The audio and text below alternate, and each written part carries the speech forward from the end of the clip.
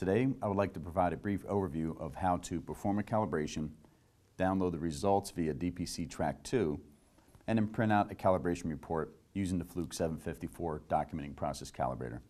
Very easy to attach to a thermocouple, an RTD, pressure device, any process instrument. You can perform a calibration with the 754. Via the USB connection, you download your data into your computer via DPC Track. This allows you to track your assets as well as store the calibration results, helping you with compliance and conformity with any regulations.